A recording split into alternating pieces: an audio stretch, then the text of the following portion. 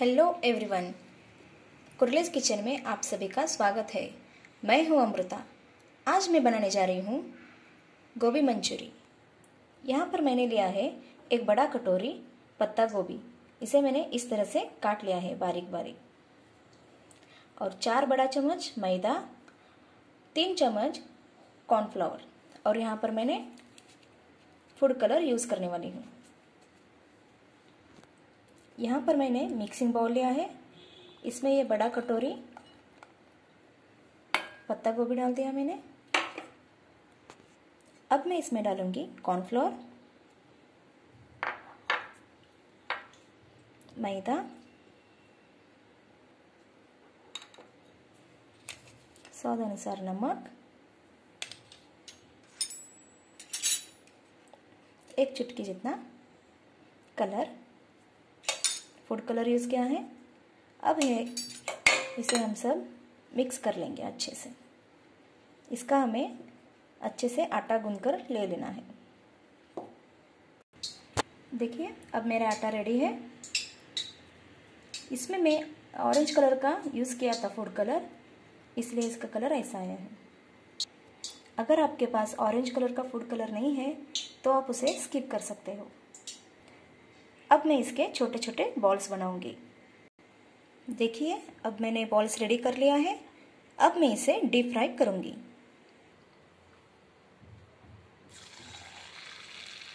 देखिए, तेल गरम हो चुका है। अब एक एक करके हम सभी बॉल इसमें डाल देंगे।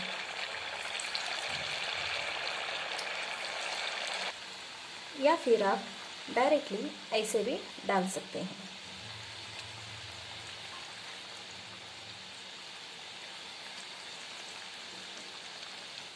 यहाँ पर हम धीमी आँच में ही पकाएँगे। देखिए।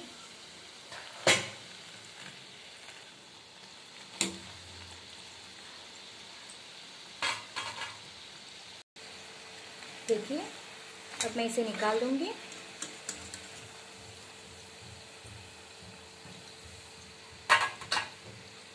इसे मैंने निकाल दिया है। अब हम इसे फ्राई करेंगे। फ्राई करने के लिए मैंने यहाँ लिया है पत्ता गोभी स्प्रिंग अनियन टमाटोज शिमला मिर्ची, अदरक लहसुन का पेस्ट हरी मिर्ची, एक चम्मच सोया सॉस एक चम्मच रेड चिली सॉस और दो बड़े चम्मच टमाटो सॉस अब मैंने यहाँ पर एक कढ़ाई ली है। इसमें एक बड़ा चम्मच तेल डाला है।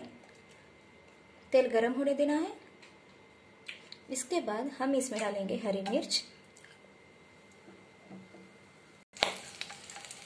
अदरक लहसुन का पेस्ट,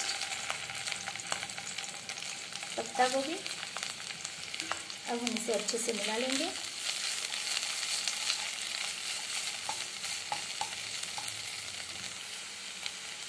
शिमला मिर्च,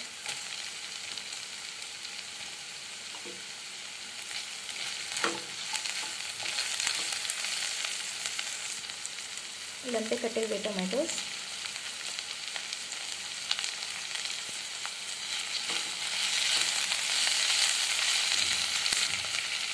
नमक। थोड़ा सा ही डालना है यहाँ पर नमक। अब हम इसे पकाने के लिए दो मिनट छोड़ देंगे। सब्ज़ियाँ पक चुकी है। अब हम इसमें डालेंगे sauce. Red chili sauce. Soya sauce. और टोमेटो सॉस। अब हम इसे मिला लेंगे।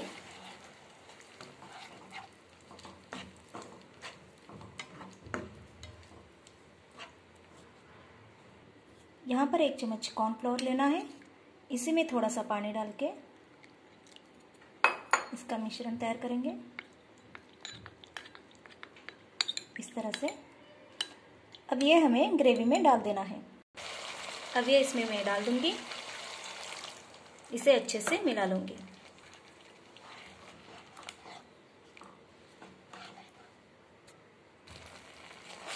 यहाँ पर मुझे मिश्रण थोड़ी सी गाढ़ी लग रही है।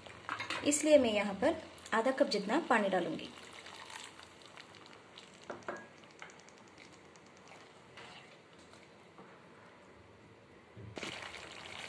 अब मैं यहाँ पर मंचूरियन बॉल्स डाल दूँगी।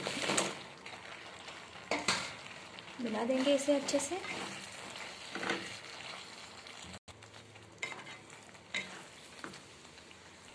इसके ऊपर स्प्रिंग अनियन डालूँगी। अब ये हमारा तैयार हो गया है। मैं अब इसे प्लेट में निकाल दूँगी।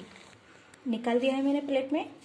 अब मैं इसे गार्निशिंग के लिए पत्ता गोभी और स्प्रिंग अनियन डाल दूँगी। देखिए।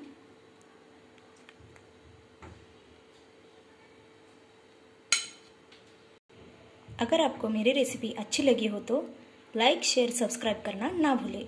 धन्यवाद।